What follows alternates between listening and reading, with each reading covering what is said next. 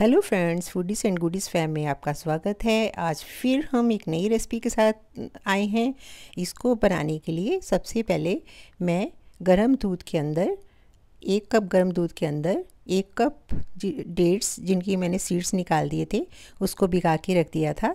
जब वो ठंडा हो गया तो अब मैं उसको ग्राइंड कर लूँगी।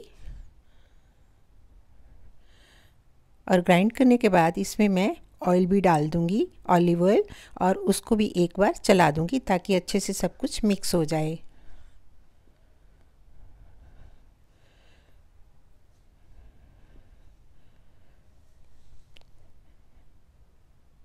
तो ये हमारा अच्छे से मिक्स हो चुका है। अब मैं इसको बॉल में निकाल लूँगी। और ये जार है, इसको मैंने फिर से इसमें दूध डाल के इसी में ऐड कर दूँगी क्योंकि हम वेस्ट नहीं करेंगे। अब मैं इसमें आटा डाल दूँगी। हमने मैदा नहीं यूज़ किया है। हेल्दी बनाने के लिए आटे का यूज़ किया है। ना ही हमने शुगर इसमें डाली है, सिर्फ़ डेट्स डाली हैं, जो कि नेचुरल शुगर है। अब इसी में बेकिंग सोडा बेकिंग पाउडर और चुटकी भर सॉल्ट भी डाल दूँगी।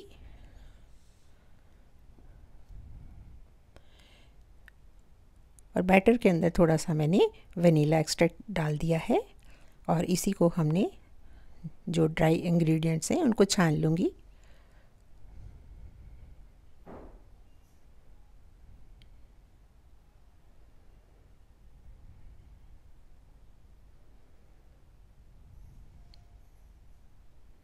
तो इसको अच्छे से मिक्स करना है हमने। बैटर को एक सार कर लेना है। थोड़ा गाढ़ा लग रहा है तो नॉर्मल टेम्परेचर का दूध मैंने ऑलरेडी रखा हुआ है तो इसमें थोड़ा थोड़ा दूध ऐड कर लेंगे।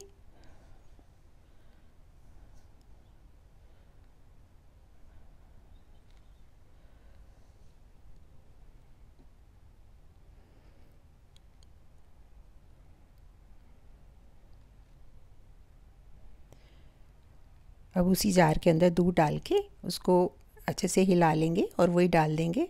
तो हमारे सारे जो कुछ भी बचा हुआ है, उसमें लेफ़्ट ओवर है, वो भी हमारा मिक्सर में चला जाएगा।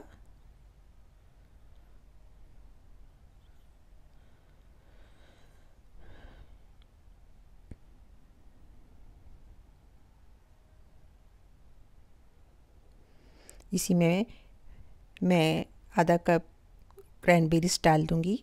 मुझे क्रैनबेरीज बहुत ही पसंद हैं। तो इसको भी मिक्स कर लेंगे।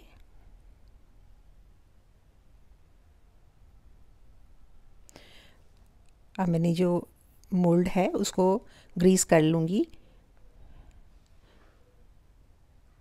बैटर हमारा तैयार है, बस इसमें हमने डाल देना है।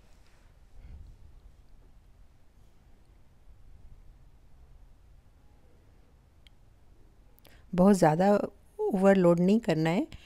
बस उसके ऊपर तक हमने सिर्फ़ भरना है, उसके ऊपर नहीं ज़्यादा रखेंगे।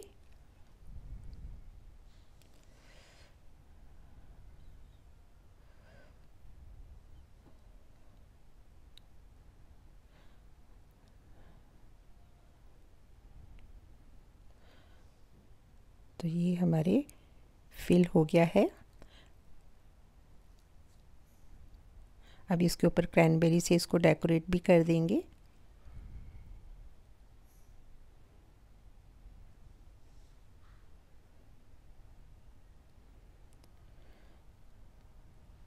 इन द मीन टाइम मैंने ओवन जो है वो प्री हीट होने के लिए रख दिया है 170 के ऊपर।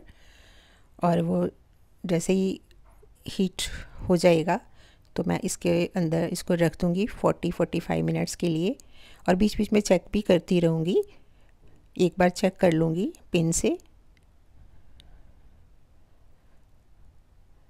तो फ्रेंड्स अगर जो मेरी रेसिपी आपको पसंद आए तो प्लीज़ मुझे सब्सक्राइब करें लाइक करें शेयर करें कमेंट करें। तो देखिए, अब हमारे मफ़िन्स बिल्कुल रेडी हैं, बहुत ही सुंदर दिख रहे हैं। Thanks for watching